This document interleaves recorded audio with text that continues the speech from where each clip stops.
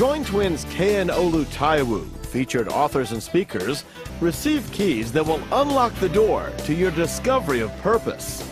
This is your date with destiny. Welcome to the Vision Guided Life. We are excited to come to you and uh, have another time to meet together and discuss what God is doing in our, our day. Kay, what do you have to say about today's message? I am so excited for this time that we have again to share what God has put within our hearts. Um, it's a time that is very trying for everyone within the United States and around the globe. But uh, we want everyone to be encouraged that God has given us a mission that will be fulfilled if we link ourselves up to up to Him, and He will show us the way that we ought to go. Exactly. And it's very important, especially in a time like this, that every one of us, that we know who we are in Jesus Christ. Yes. Because what we are seeing today is that many people are becoming distracted by what is going around. There's a lot of noise going around us. Would you say it's okay? I absolutely agree with that. There's a lot going on, and there are a lot of mixed messages that we're hearing and that mixed message impacts how we see life and whether we live in faith or we live in fear. Fear is one of the most, uh, I would say, widespread uh, things affecting people today that really literally ch- it can shift and change the course of their lives. And so that cannot be overstated. It, it, we have to uh, uh be able to identify fear when it shows itself and make sure we are anchored in God's word in our lives absolutely need, need to be anchored on God's word because if we're not anchored on God's word, then we're going to be shifting with the times. True. We're going to be shifting and we're going to become people who are moved by more of emotion. True. The word of God, the Bible says that man shall not live by bread alone, but by every word that proceeds out of the mouth of God, by the rhema of God. So that's what we live by. We need to be in tune with His Word because if we're not in tune with His Word, we'll be in tune with the voices around us. We've taught this over and over again in our ministry. In our book, Uncovering the Hidden Stranger Within, is based upon this premise that there are four voices that testify about us on this planet. Number one, the voice of God. Two, the voice of Satan. Three, the voice of man or men around us. And number four, the voice of self. Now, the caveat is here the voice that you and I embrace becomes our own. So yes. the question is in the midst of all the noise, what voice are you embracing?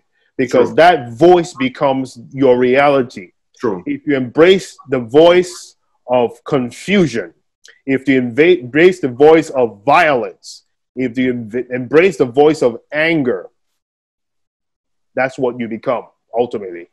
True. What do you say about that, Kay? I think that's so true, and that is the, those four voices pretty much summarize our existence and how we live our lives today.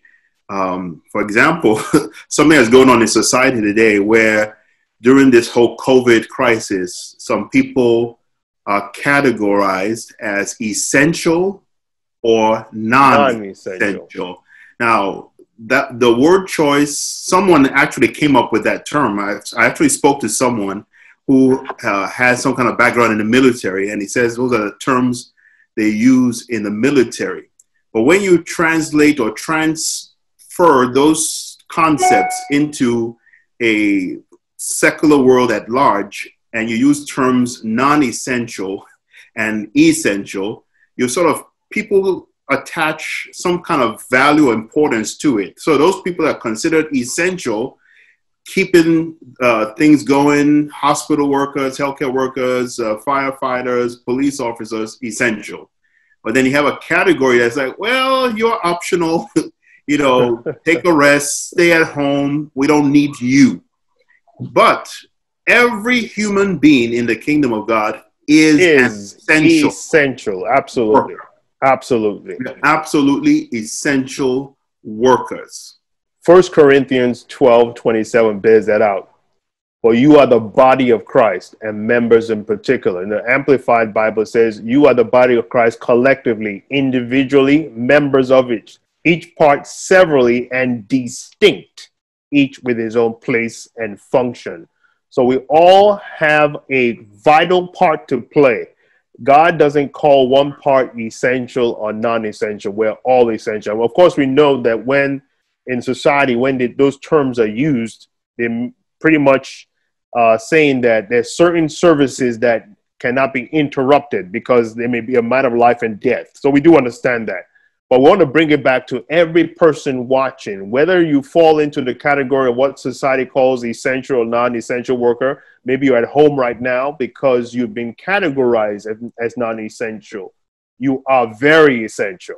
Absolutely. And what you do with your time, what you do daily, determines what you become permanently. So you need to begin to use the opportunity to invest in who God has, has made you. Who has He designed you to be? So we said this before at the beginning. There are four voices. I want to repeat that and, say I'm going to add another aspect to that. What I what I said. There are four voices that testify about us on this planet. Number one, the voice of God. Number two, the voice of Satan. Three, the voice of self. And four, the voice of man around men around us this is very crucial because even though I mentioned that God testifies about us, the effect of the testimony of God is directly proportional to our ability to embrace it. True. In other words, God has spoken a lot of things concerning us, but if we embrace the voices outside of God's influence, those voices become our reality. I'm, I'm reminded of Judges chapter 6 with Gideon. Remember, Gideon had this encounter where the angel of the Lord comes to him, and the first message he gives to, to Gideon is, The Lord is with thee, thou mighty man of valor. And uh, Gideon goes on a series of, of all kinds of excuses as to why that word could not be. But you notice that the angel never interrupted the message, kept going. It was, it was like the angel was saying, uh, Gideon, have you finished all your, your ranting? Let's go back to the message. Go in this your might. So it's not the circumstances that determine our reality, is what we embrace. If we embrace the voice of God, God Himself can take us to a place of prominence to do His will. And every part, several and distinct, as 1 Corinthians 12 27 states, we all have our place. It's true, very true. And uh, it's very, it's very it's kind of a, a challenge for people today to see that they cannot afford to abandon the voice of God. And it's, it's kind of subtle because when we talked about uh, therm- thermometer and thermostat last time, when people are ruled by their emotions, the voice that is more appealing to them is the voice that tells them, that justifies and reinforces how they feel, not necessarily what they should be doing about the circumstances, but how they feel. That. We recently had an encounter with a, a, a friend, a friend for decades, who um, pretty much was getting caught up with what with what is going on, and it began to look like he was uh, more attuned with the social issues, and it kind of defined his approach on what should ordinarily be simple uh, uh, biblical values. The biblical values were being eclipsed by what was going on in society.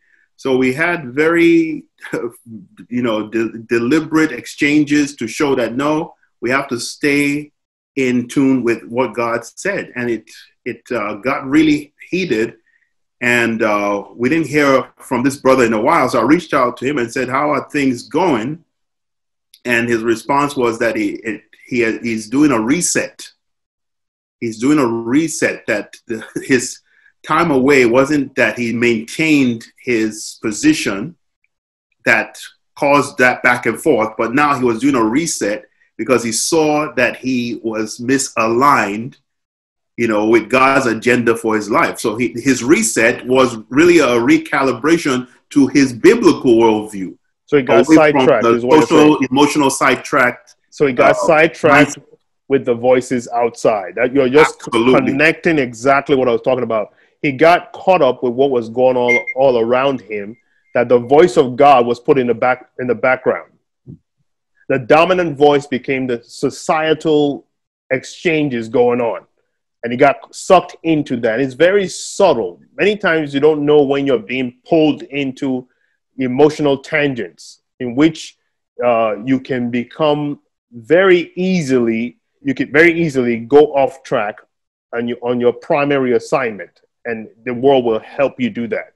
Yes. so we had to go back and be in fact i want to read this scripture very important scripture and that's what we hinge uh, our lives upon because the church is built upon this. Matthew chapter 16 i'm going to read verses 13 through 18 it says, When Jesus came into the region of Caesarea Philippi, he asked his disciples, saying, Who do men say that I, the Son of Man, am? Verse 14 says, So they said, Some say John the Baptist, some Elijah, and others Jeremiah, and the fourth category, or one of the prophets. Verse 15, he said to them, But who do you say that I am? Simon Peter answered and said, You are the Christ, the Son of the living God. Look at Jesus' response in verse 17. Jesus answered and said to him, Blessed are you, Simon Barjona, for flesh and blood has not revealed this to you, but my Father who is in heaven. Verse 18, and I also say to you that you are the Peter, and on this rock I will build my church, and the gates of Hades shall not prevail against it. Now, this is the truth that we need to, to, to key on the rock upon which Jesus builds his church is the revelation of who he is. And once you displace the revelation of who Jesus is, you become vulnerable to every force that is out there. Notice he said, Upon this rock I will build my church, and the gates of Hades or hell will not prevail against it. Now, he is the builder of the church. Yes. So if we try to build what he is not building, and if we're building upon another foundation that is not Jesus Christ, that foundation is sure to crumble. I want to hear, I want to hear what you have to say about that. that's, that's very powerful. It doesn't it doesn't matter what our opinions are, how we feel. what does the Christ, who is the founder of the church, think on the matter? And once we we, we once we fail uh, to see that and connect that the dots, and that's where we get into problems. We get sidetracked. And the thing about voices is that the obvious becomes obscure what everyone should agree upon suddenly becomes controversial. Uh, there's a case of this actor, uh, Terry Crews, recently. He made a statement. I'm going to Oh, yeah. read it. And I want, I, when I read this statement, I want you to think about it. At a different time in our society, everyone who is a believer will find this statement universally acceptable, but not now for some reason. I'm going to read the statement and tell me what you think about this. It says, If you are a child of God, you are my brother and sister. I have a family of every race, creed, and ideology. We must ensure Black Lives Matter doesn't morph into Black Lives Better. was black supremacy. Mm. And this is what I want to really, really reiterate to you uh, and, and explain.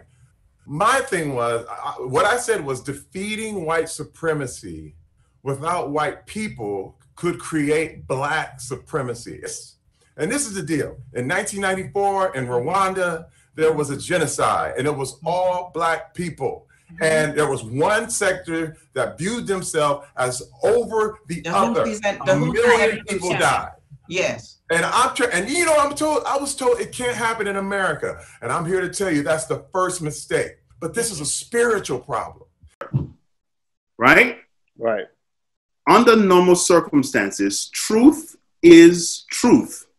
And I heard years ago that uh, all form of truth is confrontational because you won't change if you're not confronted by the truth. If the truth is obscure to you and you dilute it, it won't have any lasting impact. So you have to be faced with the truth to make the necessary change. Very important, very crucial, very vital. So the point of the matter is if I say university that every person that uh, is, as a child of God, we have a commonality in Christ, that should not be controversial at all under at all normal circumstances.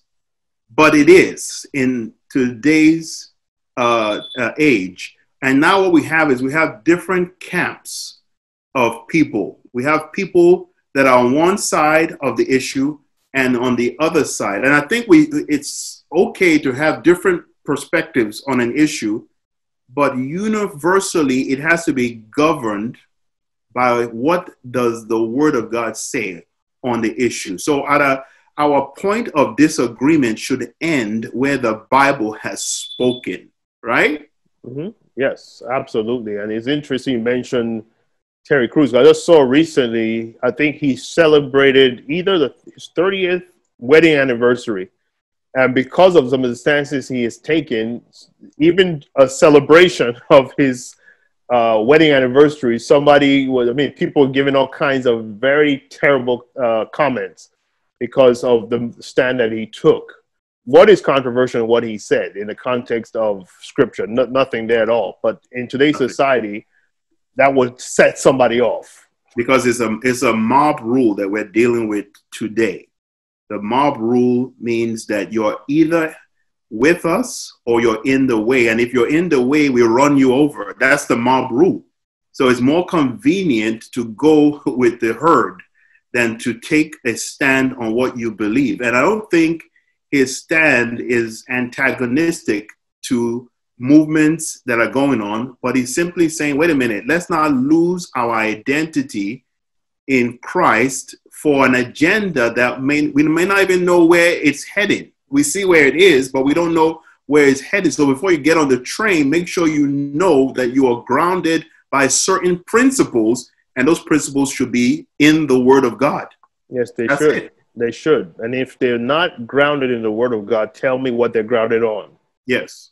Tell yes. me what they're grounded on, because if it's grounded on emotions, those who built their house upon the sand, with a matter of time when the storm comes, those found those houses are going to crumble because they're not built upon the rock. True. And there's no other foundation that can be laid other than what that which was already been laid, which is Christ Jesus. He's the head of, of the corners. He's the head cornerstone. So if we're not built upon the word of God, we say that man shall not live by bread alone, but by every word that proceeds out of the mouth of God. If we are building our lives based on what is happening today in society, or based on a movement, so what happens when that movement stops? Do we embrace the next wind of doctrine, next movement, or are we based upon the foundations of our faith because we have to put in mind that if anything we should learn in what all that's going on is that everything that can be shaken will be shaken. Any institution all the lockdown that we've seen all the major institutions came to a halt globally. All man-made institutions have come to a halt globally. Are you hear what i'm saying?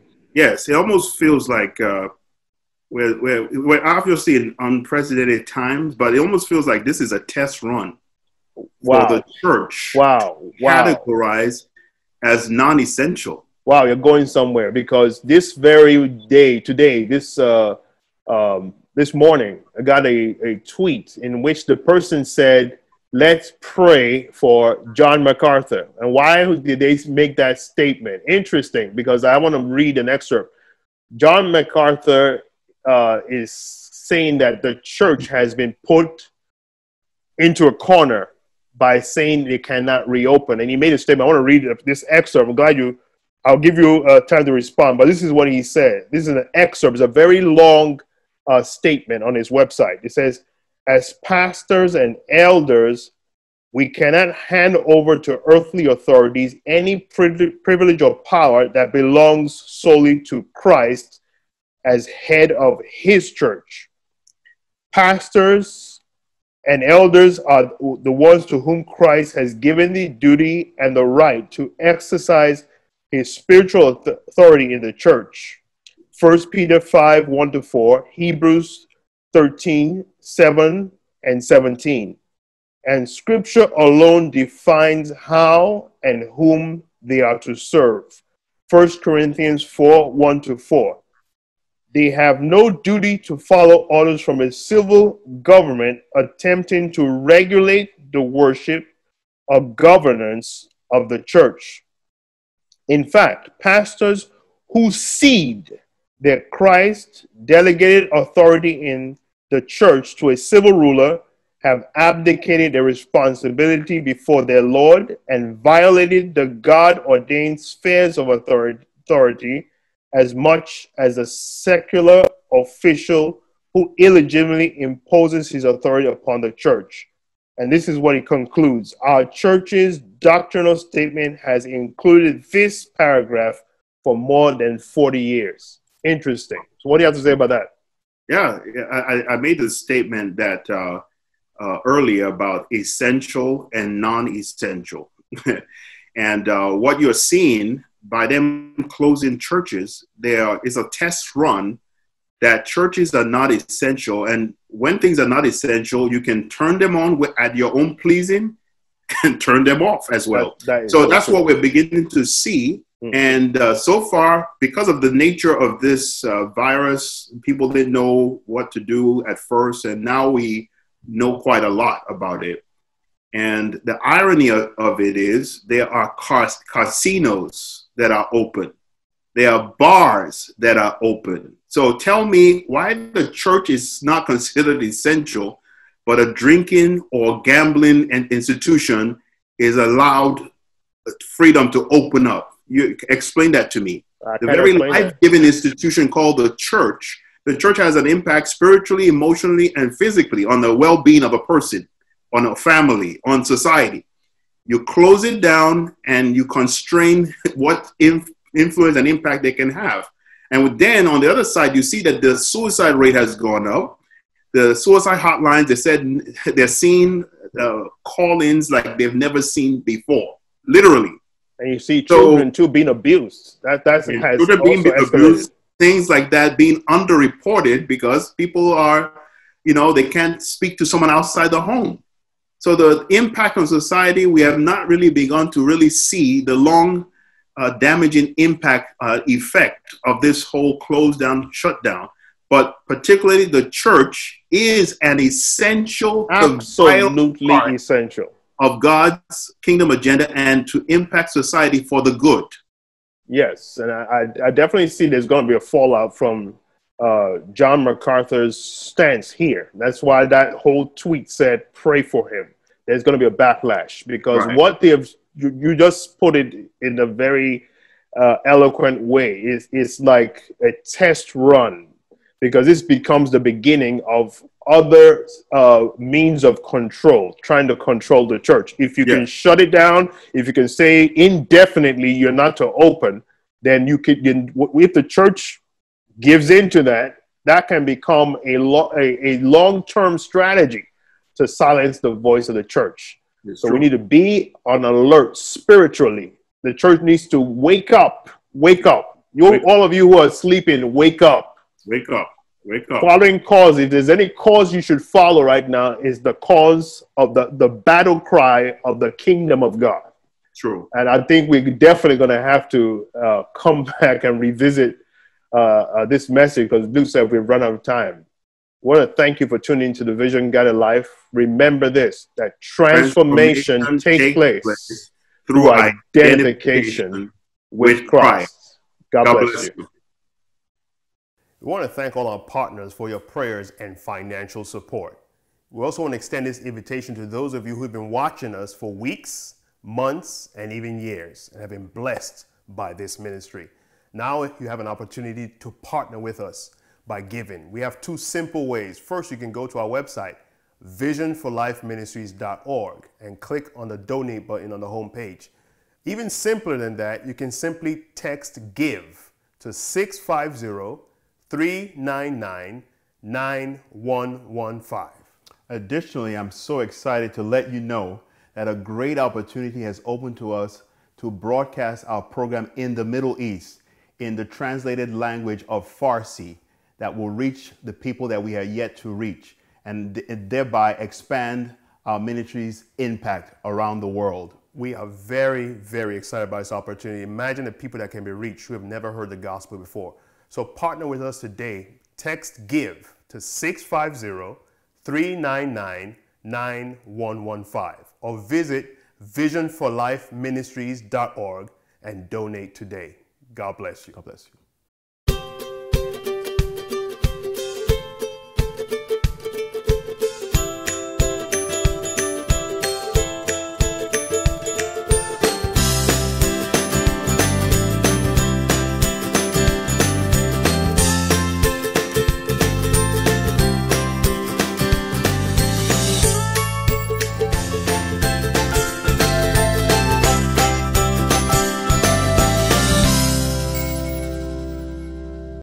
Continue to be locked in a fog of confusion, God calls out a remnant. Arise, shine, your light has come. You are an agent of change. Yes, you are. You have been equipped with tools to fulfill your God given assignment. What you need is illumination. Illumination is a personal revelation of an already existing truth.